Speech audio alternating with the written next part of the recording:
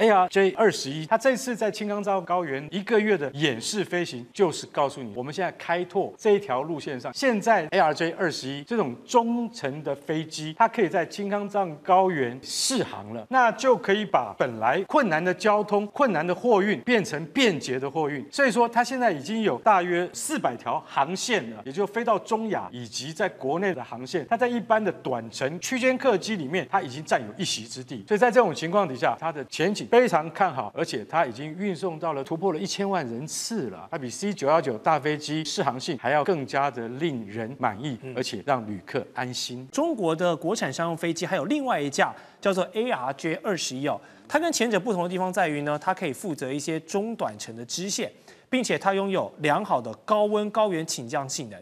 那目前这架飞机正在展开为期一个多月的环青藏高原的演示飞行哦。那么想问干哥，你会不会想坐上 ARJ 二十一来俯瞰这个青藏高原的壮丽？我非常想，你知道为什么吗？嗯因为青藏高原，我说一句实在话，其实那个地方，如果说你要进行探勘，或者是我们说哦这个科学的那种啊查查证的话，通常是用只有直升机啊。可是直升机，你说它飞到两千多公尺，那个真的是很困难。所以你要知道，AR。J 二十一这个新飞机，它其实不新了，它比 C 九幺九大飞机要老多了。不过，它这次在青冈藏高原的一个月的演示飞行，就是告诉你说，我们现在开拓这一条路线上，因为它其实它常常已经飞到了哪里，就是说那个乌兹别克的塔什干那个货运航线早就开通了。现在这个 ARJ 二十一这种中程的飞机。它可以在青康藏高原，它可以试航了。所以说，将来他们会飞到哪四个城市呢？说四川成都，啊，青海的西宁啊，西藏的拉萨等地，它可以飞到这么多个地方去，那就可以把本来我们在青康藏高原困难的交通、困难的货运变成便捷的货运。所以说，它现在已经有大约呃四百条航线了，也就飞到中亚以及在国内的这样子的航线。它在一般的短程区间客机里面，它已经占有一席之地。那 ARJ 它现在还有一百、二百、三百到七百型的，七百型是加长型。它现在里面竟然有前面有八个那个商务舱的座位，所以在这种情况底下，ARJ 二十一它的前前景非常看好，而且它已经运送到了多少？它已经突破了一千万人次了。它比 C 九幺九大飞机的飞行适航性。还要更加的令人满意，而且让旅客安心。我们来看广受中国大陆民间期待的国产大飞机 C 九一九，这个推进到量产计划迈入新阶段了。第二的总装厂选址呢，确定要落脚上海浦东的临港新片区哦。那目标是产能全开的情况下，要突破年产一百五十架。那么在老牌的波音因为频繁的飞安问题的落难时刻。这个中国 C 九一九有没有就机会飞出国门，来让航空公司多一个新选择呢？而且它又要面临哪一些挑战需要克服的？杨老师，对你刚才提到就是呃九幺九，其实现在已经看第二这个总装厂哈，在上海浦东，那年产一百五十架，其他现在已经大概交给东方航空还有南方航空。各有就是数架，那我知道交给东方航空已经有七架，那南南方航空这边大概也有呃好几架。那南方航空这边哈，我看的这个报道显示，他把这个分为三个舱等，呃，公务舱、明珠经济舱，它的明珠经济舱，就我们叫做豪华经济舱这个概念哈，还有经济舱。通常在这样子的这种就是单走道的这个舱位里面。前面大概就是有四个，甚至最多八个公务舱，后面大概全部都是经济舱。那你就为了要多载人嘛。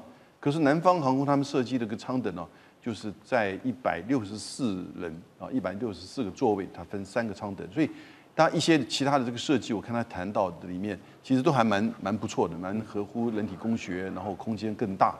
所以就乘客而言。它的体验一定比过去我们用的那些波音呐，哈，其他的飞机要感觉更好。是，那更不要说安全性。那怎么说安全性呢？因为现在欧盟也来做验证了。啊，七月份的时候，欧盟的代表也已经到了上海来啊，先在模拟机里面，然后呢，他们现在是希望说，二零二五年的时候能够取得欧盟的认证。目前我们看到，在东方、呃南方航空所已经开始这个营运的这些七九幺九的这个飞机哈，从飞哪些地方呢？上海、成都啊，北京，北京飞的是那个大兴呃机场，然后呢，西安、广州。所以你看，就大陆的这个东南西北，它都可以，就是说在范围之内。对。那因此。整个大陆的市场现在都已经应付不完，我想这个第二种张场够吗？年产量一百五十架，如果将来欧盟取得更多的认证的时候，不只是欧洲国家，其他全球南方国家也会。好，你大概问我，哎，你怎么有讲美国呢？啊，那就不要试了。哦，美国不会让他过的。那你还记不记得那个时候日本在做一个叫 MRJ？哦，那个是三菱三菱重工吧？对。哦，那结果搞了好久，就最飞机都飞上天了。美国就是不给他认证，后来就整个公司取消掉了。所以我觉得 C 九幺九，我觉得国内市场还有就是全球市场就够了。是，或许哦，这个九一九满足内需就够了。我们说这个全球的航空市场，长期以来都是被美国的空巴还有欧洲呃美国的波音还有欧洲的空巴两大巨头给来分食主导。但是波音近年这个出包事情一件接着一件，执行长凯尔洪还被叫上听证会去立正站好。航空出包，航太也拉差。之前这个星际飞船载了两名国际太空站的这个无辜太空人，到此时此刻，他们都还在上面。这样下去，我看应该可以在上面过中秋了，可能连圣诞节都要过了。那这个原本八天的任务就被迫加料，真的是很瞎。那个波音一个好好的百年老店，怎么会沦落到今天这个田地呢？店长你怎么看？因为啊，其实。以美国为首的这些西方国家的公司啊，呃，在最近二十年呢，他们追逐的不是这个性能更好，或者是讲做创新，或者是讲究质量、工程师文化，它不是讲究这，它讲究能够获利。嗯，那讲究获利呢，那就恰恰好，他把他的那个相关的设计以及它的结构。做了部分的减免，讲讲白一点，就是偷工减料。那偷工减料结果，现在波音七七七就出现了嘛？也就是你才在夏威夷试飞，怎么就发现了它的结构已经出现裂痕了？还没有金属疲劳，金属已经疲劳啊，对不对？所以我们这样子讲哦，如果我们来看一个无，就是说。比较缜密的工业工程是怎么做的啊？这个是我们看到波音其实它的作业的手手册是这样的，也就是它的轮胎，那它的它的外面的这盖板哦，到底是怎么安装的？它每一步都有，而且你要用什么样的扳手？你你要用扭力扳手，你不可以使用一般的扳手，扭力扳手要上多少的磅数？然后它的顺序是如何？通通都有规定，可是为什么波音的这些人员他不愿意做？因为你他原来做生产线，我只要做这项工作就好。你现在叫我做两三样工作，而且还限定时间，那对不起，我就是顺手了。扭力扳手不用了，上面前面就用了那个老虎钳，我就老虎钳上了，还扭力扳手了，对不对？这就是你上的磅数过多或上的磅数不足。都是问题，上的磅数过多了就裂了，上的磅数不足了就飞到一半掉了，这是不是都是波音的问题？是啊，中国大陆第一架国产大飞机 C 九幺九被寄予厚望，甚至被看好未来能够打破美国波音还有欧洲空中巴士的垄断，能够顶足而立。但是在正式商业营运一年之后，现在面临到的是产能跟品质的问题被打上了问号。网络上呢不断传出一些实际搭乘体验但是不好的消息。好，从图卡当中您可以看到，包括说有乘客发文说，他搭乘这个东航 MU 九一九七上海虹桥到成都天府航班，结果他说飞机起降之前呢，这个空少开始发东西了，发的是什么呢？是这个纸巾，说等一下是要来擦水滴用的。那同时他还拍下这一。张照片说这个行李架上的这个缝隙怎么歪歪扭扭？他认为说这很像汽车配件卸的这个工艺，觉得说这样的体验真的不太好。然而现在种种的负评，但是航司跟中国商飞呢，不是设法把这些留言删掉，不然就是装睡，不愿意面对问题的态度，严重打击到很多铁粉他们的信心。好，这个 C 九幺九的订单持续在交付，但是一年多来数量只有七架，号称千架的订单，岳老师您看到底是真还假？那未来还有哪些困难是需要突破的？我跟你讲啊，这个订单绝对是真的了啊，因为 C 九幺九的话呢，它现在呢。我不觉得这是一个坏消息啊，因为呢，一个新型的飞机啊，嗯，因为大家要了解啊，每个人都有坐飞机的经验呢，啊，大家最害怕的什么都不用再多说了啊，对不对？那现在波音公司出现这种状况的话，大家都觉得上去以后会问一下，以前我从来不问我坐什么飞机，现在我会问一下，这飞机是空巴的还是波音的，就稍微问一下啊。所以我觉得呢，就是说，首先大陆的这个 C 九幺九的话呢，试航证没有拿到的话。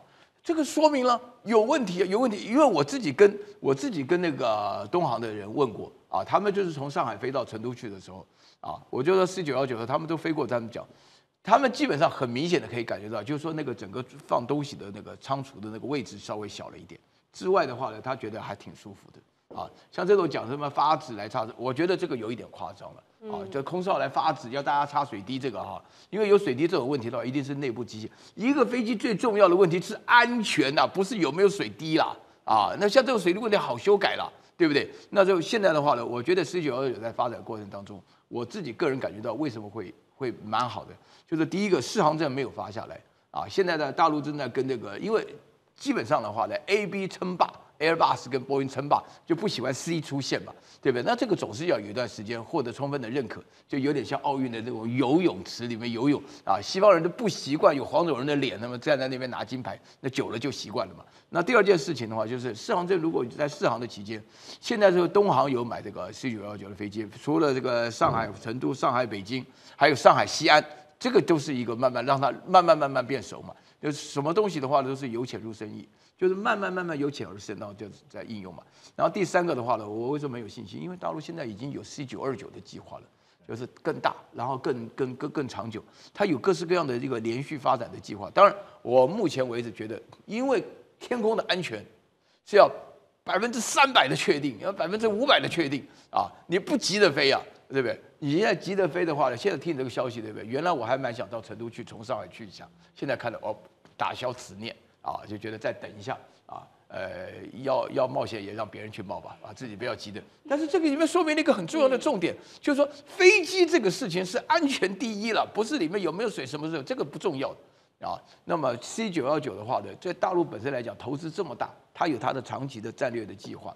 那么最主要要做的事情就是在这里，就是说要发展的稳扎稳打，所以说一步一步来。那么大陆有这样的计划，我觉得就是自己。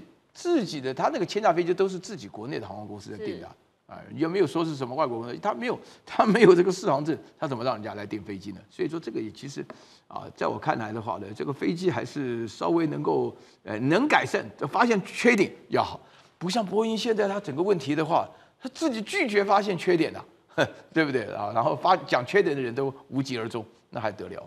是好，目前呢，中国商飞已经确定订购 C 九幺九的数量大约是八百多架，那其他都是表态说有采购意愿。那刚刚岳老师帮我们提到，大部分都是大陆的航空公司，或者是有国企背景的这些租赁公司。那虽然说中国商飞现在他们是把这个销售主力放在中东跟非洲，但是成果还有待观察。今年初以来呢，越南的商用飞机架数是严重不足，导致了运量大幅下滑，那机票的价格也变贵了。但是就在被问到说那要不要买这个中国制的国产飞机 C 九幺九的时候，您图卡当中看到的这一位他是越航的 CEO，一句话秒拒绝。好，那如果顺利拿到试航证，未来是不是可以帮助航空公司解决这个缺机潮呢？李将军你怎么看？我首先要说明一下，这航空公司的飞机跟军用的运输机是完全不一样的设计理念。我们为何问说，为什么运二十可以做得出来，那 C 九幺九为什么有问题？这完全不同的设计理念，因为军用飞机它求作战要使用嘛。比如说我哎跑道距离很短，比如说是我是泥巴地，我也可以起飞降落来讲的话，啊，我可以不计较说用油多少，我只要说马力够大，我可以作战来使用，飞得更快、更远、更高。对，民航机它不需要做到超音速啊，可是它要求的不一样。第一个，我是航空公司，我营业，第一个我要省油，对不对哈？这个你不要看了，我经常坐那个飞机，我空军同学他们在开民航机，他们会呃就是就是尽量想办法怎么样让这个油省一点，然后这个这个公司就会给他发奖金的。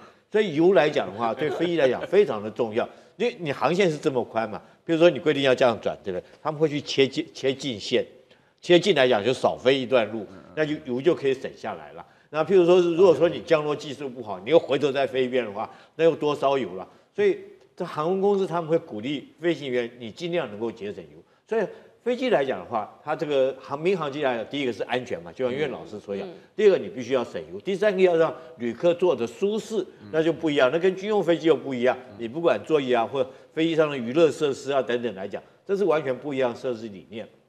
那 C 九幺九现在来讲的话，当然对这个欧洲的空巴跟美国波音来讲是很大一个商业上的一个竞争了。嗯。可是很遗憾的就是 C 九幺九它大概百分之六十的零组件还是跟空巴跟这个波音一样，是全是尤其是它那颗引擎是都一样的。那现在来讲，如果说是美国他们联合开发这个引擎来讲的话，它当优先给自己空巴，给自己波音，那它不会给你 C 九幺九来挂来用。所以在这种状况之下的话，它产能当然就会受到影响。可是现在来讲，中国自己也发现这个问题了，所以它设计现在一种民航的引擎，叫长江一千，那个西街一千的引擎，就是准备给西九幺九用的。它另外来讲的话，现在这个引擎来讲，它把它挂到哪里？挂到运河运二十的在运输机上面来做试飞试航。当然，我觉得现在来讲，试航证欧洲跟美国来讲有可能不发给他，可是中国自己国内已经印证，它已经没有问题了。那以后来讲，这个试航证。当然，越南或者是美国或欧洲来讲的话，会不会愿意发？我觉得这是这个另外商业经经政治上的考量。是另外一个焦点，要带大家来看到是三星宣布固态电池的研发有大突破，试点生产线全面运转，计划在二零二七年前要量产。那这个电池的续航里程达到九百六十五公里，充电的时间只需要九分钟，寿命可以达到二十年。那大陆当然不落人后呢。日前，官媒《中国日报》就报道说，北京投入了人民币六十亿元，折合台币超过两百六十亿，用在全固态电池的研发。那现在包括像是宁德时代、比亚迪、一汽、上汽、蔚蓝新能源，还有吉利这六家企业，可能获得政府的基础研发支持。好，我们再来要看到的就是这个另外一家快科技，它的报道了，说这种材料呢，跟传统材料相比的话，是具有这个电导率、高能量的密度、长使用的寿命等等的优势。有望可以让这些电子设备小型化、长续航。那这一项成果现在也被刊在这个学术期刊《自然》发表人员上面。好，我们知道说，手机、电脑和其他的电子设备当中使用到的这种锂离子电池，大多数是透过一体的这种电解质来储存和释放能量。好，从这个请教您，您怎么看说大陆现在在这种全固态电池上面的突破？我想，其实固态电池，我认为大陆是领先的哈。三星这个宣布，它在今年三月宣布之后，它这两天宣布是因为它的生产线做好了，嗯，做好。可是生产线你要量产，你生产线还要调试，像半导体一样，所以它预估是二零二七年才能整个大量产。以他讲的这么厉害的，刚刚讲说充九分钟就可以达到九百六十五公里，但这个东西不是瞎瞎讲的，因为宁德时代现在已经做好。现在只等客户要买的，他们是十分钟充六百，它是神充，是那个神行 Plus 的部分，而且它大家讲的部分是它可以充超过一千次以上。那以固态电池来说，这已经是非常非常厉害的技术。当然，固态电池是这样，大家还目前还是磷酸铁锂。大家现在在看所有的这个所谓这个电池哈，要注意，第一个是材料科学在做变化，流电池或干嘛这类成本更低，然后呢也开始增加它的这个电池密度，因为成本低会差很多钱，十分之一的成本而已。所以现在我们来看，就第一个大的能量的所谓汽车或者是储能，能量密度要很高，储存很多，然后瞬间踩油门，啪，它的电量给你很强，这个有它特别具有还有故意安全。所以现在整个技术往当然都是往电动车或在这方面的这种储能电池的应用上为主。小型我们手机这个部分，虽然你说手机几亿只全世界啊，但是这个需要什么能量密度吗？它要按一下啪，你你要大放电吗？像皮卡丘也不用，它就持持续的稳定。因此，真的把这个高新的技术放到手机上比较小，就是充电快而已。